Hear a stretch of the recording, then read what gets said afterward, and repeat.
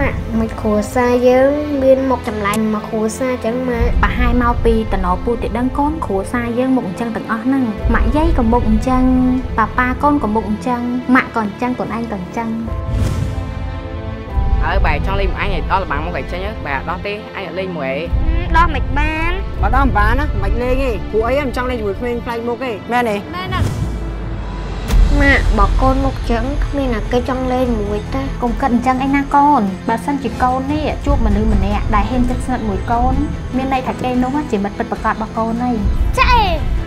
ទៅជើងឯងបាំងមុខអីគេគ្រប់គ្នាស្អប់ខ្ញុំគេរើសអាងខ្ញុំខ្ញុំមិនរើសអើងឯងទេយើងចង់រកបានឯងធ្វើជាមិត្តធ្វើជាមិត្តនឹងគ្នាបានអត់ឯងគេប្រាប់ថាឯងរកអាចជាមួយក្មេងរកក្រក់ហ្នឹងណាតែយើងគ្រាន់បោកប្រោះវាធ្វើលំហាត់ឲ្យយើងតា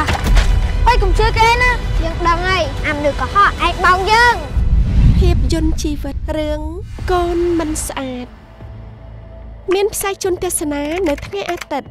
វេលាម៉ោង8យប់លើកញ្ចក់ទូរទស្សន៍បាយ័ននិង Facebook YouTube Sastra Film